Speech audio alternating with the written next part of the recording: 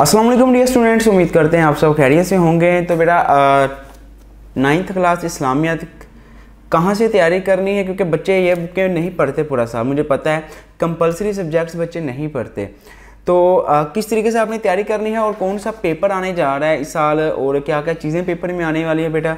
आ, सारी चीज़ें मैं आप लोगों के साथ शेयर करने जा रहा हूँ। सो अगर आप लोग अच्छे मार्क्स लेना चाहते हैं अगर आप लोग चाहते हैं कि मैं नाइन्थ क्लास इस्लामियात में पास हो जाऊँ और अच्छे मार्क्स भी आ जाएँ। मेरे forty forty five plus marks आ रहे हैं तो बेटा आपने इस वीडियो को देखना है। जो जो चीज़ें मैं आपके साथ शेयर करने जा रहा हूँ, आपने कोशिश करनी है, इन चीज़ों को याद करके जाएँ और इन ताला आप लोगों का पेपर जो है बहुत अच्छा हो जाएगा और आप लोग ईजिली बहुत अच्छे मार्क्स ले लेंगे। सो बेटा ये आप लोगों की बुक है नाइन्थ क्लास इस्लामियात की। बेटा जो पहली चीज़ आपने तैयार करनी है, ये न्यू कोर्स है। ओल्ड कोर्स नहीं है ओल्ड कोर्स में वो सूरत अनफाल सूरत हिजाब वगैरह होती हैं बुकें, ठीक है? लेकिन अब आपके तर्जमतुल कुरान का पोर्शन लैदा हो चुका था और इस्लामियत का पोर्शन लैदा हो चुका था। अब इस्लामियत लाजमी जो न्यू कोर्स है, उसका मैं पेपर बताने जा रहा हूँ। तो ये आप लोगों की बुक है जो दो हज़ार तेईस और चौबीस में आपको प्रोवाइड की गई है। तो बेटा पचास नंबर का आपका पेपर आएगा और पचास में से बीस नंबर वाला इस साल जो है वो पास होगा इस्लामियत में।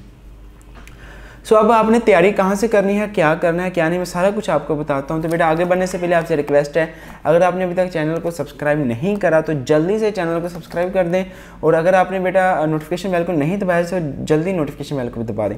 तो बेटा पहली चीज़ जो आपने तैयारी करनी है वो है एम हर सब्जेक्ट में यही होता है कि अगर आप लोग अच्छे मार्क्स लेना चाहते हैं तो बेटा अपने एम सी तैयार करने हैं। बेटा एम सी बुक के अंदर से आएँगे तकरीबन छः या सात।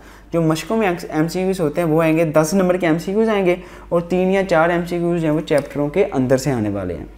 अब अब बेटा जो एम सी क्यूज़ वाला गेस्ट पेपर है, इंशाल्लाह जल्द जल्द अपलोड हो जाएगा, लेकिन मैंने स्कीम अपलोड कर दी हुई है कि कितने एम सी क्यूज़ चैप्टरों के बाहर से आने हैं, कितने एम सी क्यूज़ चैप्टर के अंदर से आने हैं, वो आप लोग इस वीडियो के फ़ौरन खत्म होने के बाद वो स्कीम वाली वीडियो भी देख के अपनी तैयारी कर सकते हैं।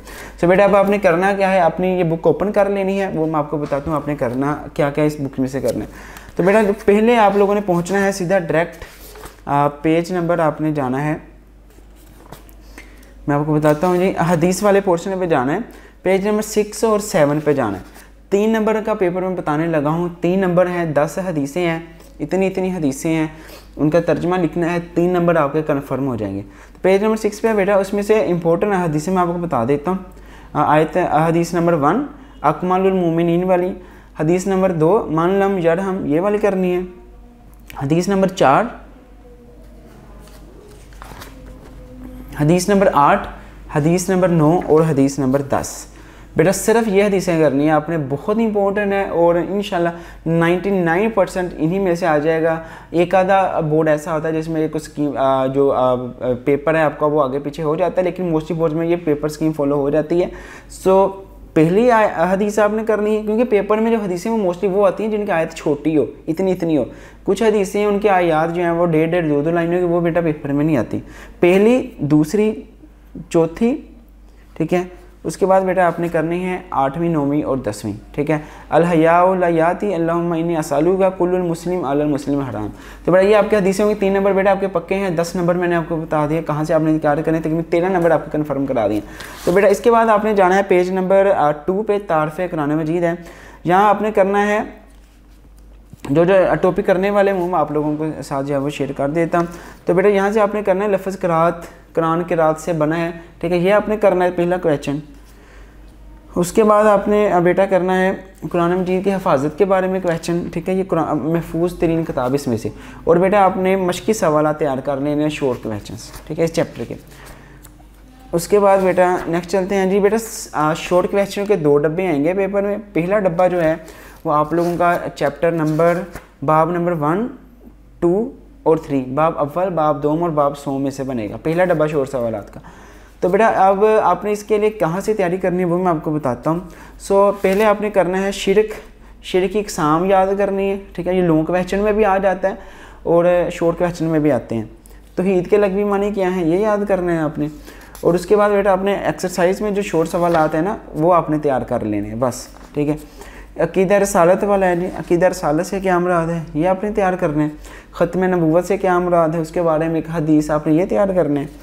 उसके साथ बेटा आपने एक्सरसाइज में जो सवाल आते हैं, शोर वो तैयार करने हैं। आसमानी किताबें सॉरी मलाइका पर ईमान फरिश्तों पर ईमान ये आपने तैयार करने हैं, ठीक है? और उसके बाद आसमानी किताबों पर ईमान आसमानी किताबें कितनी हैं और किन किन रसूलों पर आसमानी किताबें नाजल हुई हैं, वो अपनी तैयार करनी है। ये बहुत इंपॉर्टेंट शोर क्वेश्चन है। बाज़ात लोगों में भी पूछ लेता है कि आसमानी किताबें कितनी हैं और इनको किन किन रसूलों पर नाजल किया गया है। मोस्ट इंपॉर्टेंट क्वेश्चन है ये वाला, ठीक है? तो बेटा ये आपने करना है। और शोर सवाल करने, इसी तरह आबादात चैप्टर है जी, नमाज़ वाला। ठीक है? इसके आपने सिर्फ़ शोर सवाल तैयार करने हैं। रोज़ा बहुत इंपॉर्टेंट चैप्टर है। रोज़े के दो फ़वाद दो समरात लिखें। ठीक है? रोज़े से क्या मुराद है? और बेटा आपने शोर सवाल इसके कर लेने हैं। ठीक है बेटा? तो मोस्टली आपका पेपर जो है शोर सवाल से कवर हो जाएगा।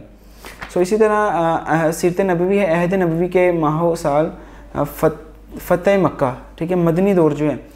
तो फ़तेह मक्का का वाक़ कब पेश आया। ये आपने करना है। उसके बाद बेटा, मशक़ी सवाल आपने तैयार कर लेने इसी चैप्टर के। इसी तरह गजबा हुनैन मशक़ी सवाल तैयार करने बस, ठीक है? और इसी तरह बेटा अहद नबी के माह दो साल हैं जी। मुश्किल सवाल आपने तैयार करने हैं बस। मोस्ट इंपॉर्टेंट बेटा आपको पेपर बता रहा हूँ। तो इसी तरीके से बाब सोम तक आपने मुश्किल सवाल तैयार कर लेने हैं। अगर आप लोग चाहें तो बाब सोम के सारे चैप्टर ना भी करें तो आप लोग कर सकते हैं क्योंकि नौ सवाल आएँगे। आपने उसमें से कोई से छः करने तो आप लोगों ने गजवा हुनैन तक जो है वो आ, कर लेना पोर्शन तैयार। बाकी आप लोग चाहें तो चॉइस में छोड़ दो। उसके बाद बेटा जो दूसरा शोर सवाल का डब्बा है वो आप लोगों का आएगा बाब चहारम बाब पंजम और बाब हफ्तम से, ठीक है? तो इसके लिए आप लोगों ने करने हैं जी, वही मशक़ी सवाल तैयार कर लेने हैं, क्योंकि बाकी चीज़ें जो है वो थोड़ी सी प्रिपेयर करनी मुश्किल हो जाती हैं। आप लोग सिर्फ़ मशक़ी सवाल तैयार करें, बाकी जो गेस्ट पेपर मैं आपको दूँगा, आपने वो तैयार कर जाना है इन आपका पेपर कवर अप हो जाएगा चीज़ की गारंटी मैं दे दूँ लेकिन आप लोगों को याद करनी पड़ेंगी चीज़ें। तो बेटा दो शोर सवाल के डब्बे हो गए हैं। उसके बाद बेटा आएँगी आप लोगों से पूछा जाएगा, ठीक है? हदायत के सरचश्मे मशाहिर इस्लाम, ठीक है? हज़रत इमाम जैनआबिदीन इनका बेटा तारफ़ वगैरह लिखना होता है तो तीन पेपर में आते हैं और आपने उसमें से दो करने होते हैं। तो हज़रत इमाम जैनआबिदीन आपने ये कर लेना है। हज़रत अबू मूसा अशरा, ये आपने कर लेना है, ठीक है? और उसके साथ बेटा आप लोगों ने सूफिया कराम वाला जो है, वो ये तैयार कर लेना है, ठीक है? या तो आप लोग हज़रत उमर बिन उमिया, ये तैयार कर लें। पहले बेटा, पहला, दूसरा और चौथा जो है, ये तैयार कर लेने आपने। इन आप लोगों का, लोग सवाल का पेपर जो है, इसमें से कवर अप हो जाएगा। तकरीबन आई थिंक ये आठ या दस नंबर का है। ठीक है? ये वाला पोर्शन उसके बाद बेटा आप लोगों का एक लॉन्ग क्वेश्चन आएगा। लास्ट पे लॉन्ग क्वेश्चन आप लोगों का आएगा, बाब नंबर सिस्टम के अलावा। ठीक है? वो बाब नंबर आपका दोम और सोम में से एक आता है। और बाब नंबर चहारम, पंजम और हफ्तम, ठीक है? मोस्टली जो है वो बाब नंबर, पंजम और हफ्तम में से आता है। जिसमें आप लोगों को मैं बता भी देता हूँ, पेज नंबर अगर आप लोग नाइन्टी सिक्स पे जाते हैं, ठीक है? वहाँ पे बाकायदा मेंशन किया हुआ है कि ये लोग सवाल जो है पेपर में पूछे जाते हैं। इस्लामी तालीमत असर हाजिर के तकाजे हैं जी, ठीक है? सो खुद अतमादी खुद अंसारी की किस तरह इंसान को तरक्की याफ्ता बनाती है? ये आपने करने जिसमानी और जहनी सेहत और जिसमानी रियासत ये अपने करना है। इसमें से मेरा लॉन्ग सवाल जो है वो आप लोगों ने कर लेना है, क्योंकि इसमें से लॉन्ग पूछा जाता है। मोस्टली इंपॉर्टेंट चैप्टर ये नहीं है जो मोस्ट इंपॉर्टेंट चैप्टर है ना बाब पंजम ठीक है, उसमें से लॉन्ग आता है। बाकी लोगों के क्वेश्चन वगैरह जो है इंपॉर्टेंट मैंने आप लोगों के साथ ऑलरेडी शेयर किए हुए हैं। आपने कोशिश करनी है, जो चीज़ें मैंने आपको बताई है ना, इन पर फोकस करना है। हदीसें सबसे पहले तैयार करें शॉर्ट सवाल तैयार करें सारे चैप्टरों के, और साथ अपने एम तैयार कर लेने, आपका तकरीबन चालीस पैंतालीस नंबर का पेपर हो जाएगा। बाकी जो लॉन्ग सवाल आता है, वो इन मैंने आपको बता भी दिए हैं, और गेस्ट पेपर आपके लिए ऑलरेडी अपलोड जो है वो जल्दी जल्द हो हो रहा है बट इंशाल्लाह आपको वीडियो जल्द अज जल्द मिल जाएगी। सो अगर कोई क्वेश्चन है तो आप लोग बेटा नीचे कमेंट सेक्शन में पूछ सकते हैं। अल्लाह पाक आप तमाम बच्चों को ढेरों कामयाबियाँ दिला करे तमाम बच्चे जो कि इस्लामिया के पेपर की तैयारी कर रहे हैं, वो बहुत अच्छे नंबर से पास हो जाए और आपका पेपर सबसे आसान आए। सो मिलते हैं नेक्स्ट वीडियो में। बेटा, अगर वीडियो पसंद आई है, लाजमी तौर पर लाइक करके जाएगा चैनल पर नहीं है सब्सक्राइब कर दीजिएगा। मिलते हैं बेटा अगली वीडियो के अंदर।